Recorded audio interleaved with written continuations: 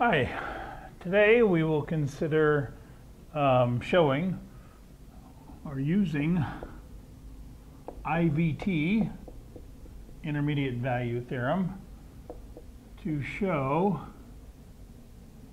the equation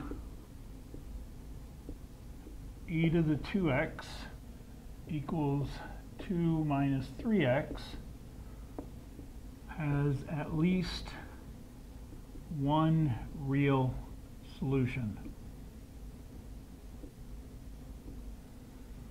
Now, uh, before we get to that, I need to remind you what IVT says in intermediate value theorem.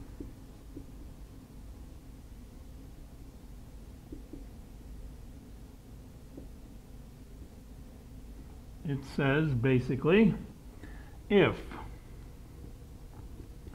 f is continuous.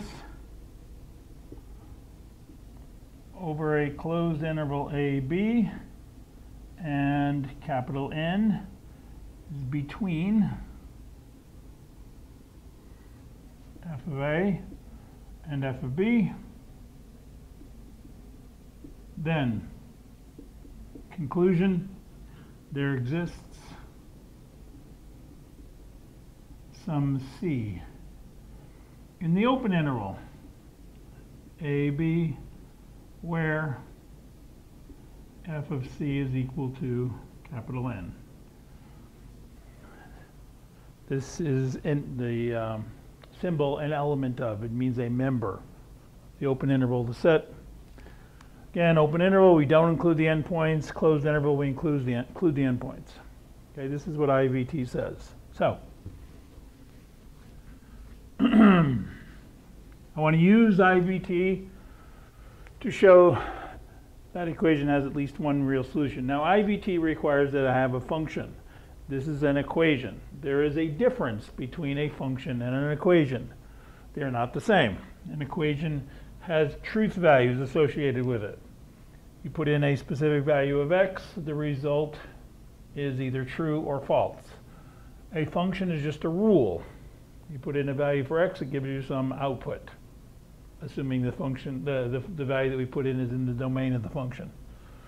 So they are not the same. I need to create a function. So the first thing we do is create a function. I'm going to let f of x be e to the 2x minus 2 plus 3x. Basically, I just move everything to one side of the equal sign and that becomes my function. Do not put equals 0 that would be saying that the function is always zero.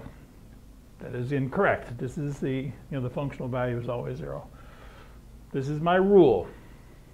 Now, IVT requires that my function is continuous. This particular function has no problems.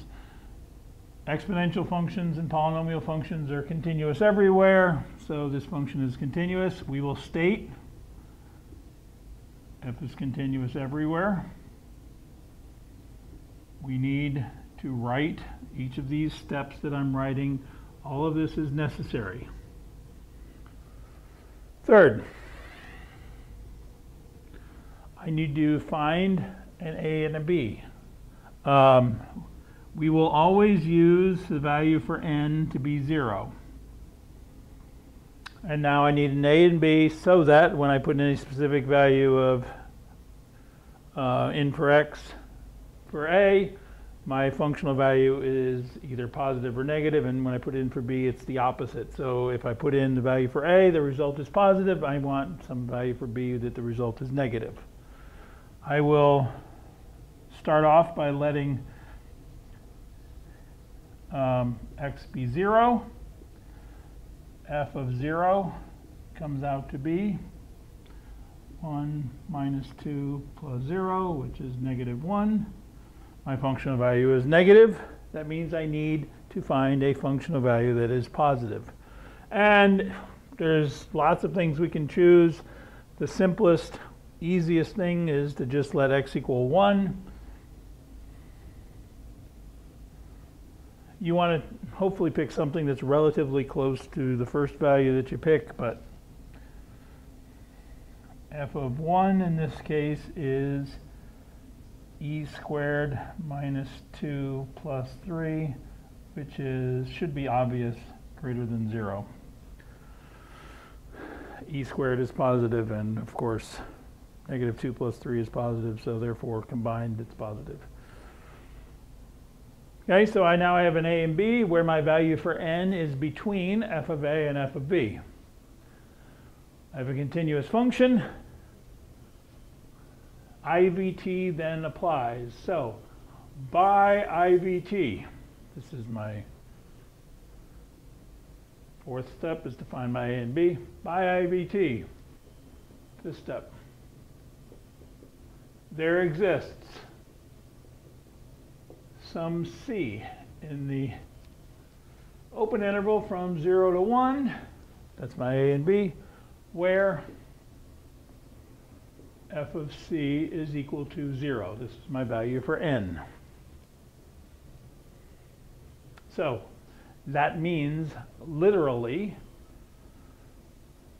e to the 2c minus 2 plus 3c is equal to 0. I literally let x be c in my function. And now this means then that e to the 2c is equal to 2 minus 3c, bringing it back in the form of my original equation. Therefore, and a triangle symbol of dots means therefore. Therefore, C is a solution to the equation. Notice, all this shows is that a solution exists. It doesn't tell me what the value is. It's kind of you know, leaves you with a sort of bad taste in your mouth at the end. But understand value theorems are existence theorems. They just show that something exists. Doesn't tell us what the value is. Okay, this would be my sixth step, by the way.